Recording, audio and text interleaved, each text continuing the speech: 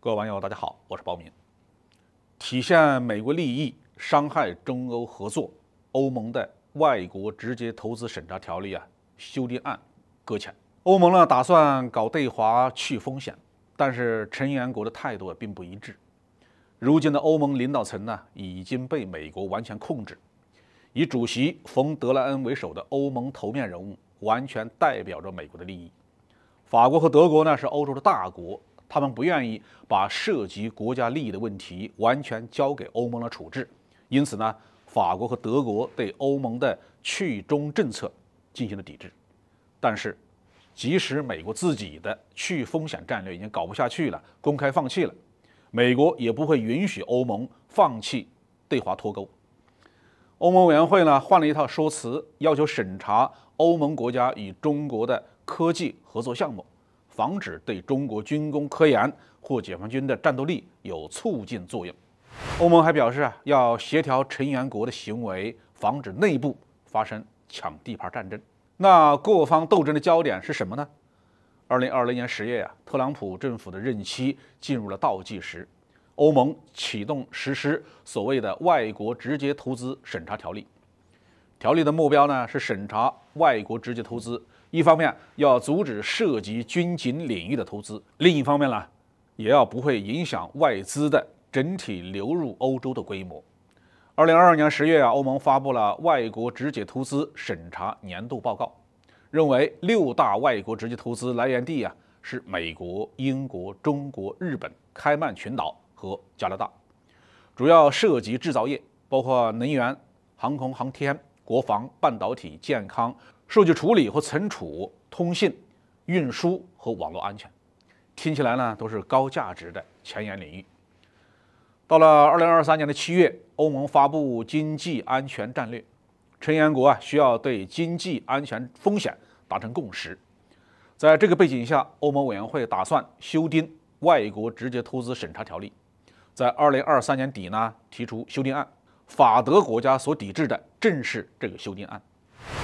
为了通过修订案呢，欧盟产业竞争问题负责人玛格丽特·维斯塔格表示，二零零零年到二零二二年，欧盟大学与中国军事机构进行了近三千次的科学合作。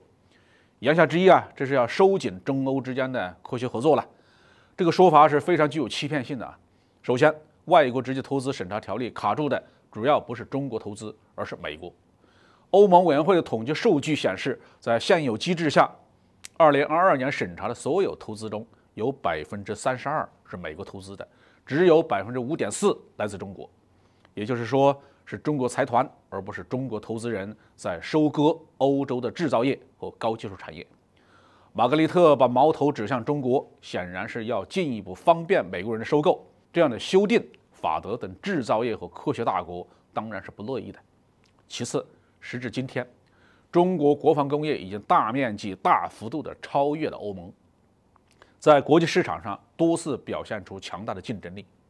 但是欧盟呢，还在执行城府不堪的对华武器禁运，所以啊，欧盟国家从法律上就不可能与中国军工、解放军科研部门搞军事技术合作。而玛格丽特的说辞强调了军事机构，这就把一些基础科学、非军事科学相关的研究。也囊括进去了，比如说，解放军医学机构也是要搞研究的，有些研究涉及到了传染病、基础病，如果在这方面开展中欧合作，并不具备军事用途，但玛格丽特搞这样的文字游戏就显得耸人听闻了。另外呢，德国航天局与中国载人航天机构开展了空间搭载实验，中国和法国在海洋遥感卫星的研制和使用方面也有合作。这些完全是开放式的基础性的研究，内容呢也完全公开。但中国载人航天的很多具体的业务是由军方负责的，这里面包括发射场、测控、回收着陆等等。按照玛格丽特的说法，这是与中国军方、军事机构的合作了。所以啊，修订外国直接投资审查条例很可能会导致中欧科学合作的全面中断。法德这样的科学大国、工业大国当然是不赞成的。特别是德国这个汽车大国啊，正在寻求对华合作途径，搭上新能源的顺风车。如果德国同意了外国直接投资审查条例修订案，必然会遭到中方的对等的报复。德国要想在中国寻求技术和市场，那就困难了。由于欧盟主要国家反对，欧盟委员会呢只得暂时放弃这个修订案。新闻报道说，修订工作可能要推迟到二零二五年才能完成。但是特朗普可能在二零二五年再次上台哦，这个修订案将面临极大的变数。中国呢，还是和单个的欧洲国家进行双边谈判才更有意义。好，这期话题就说到这里。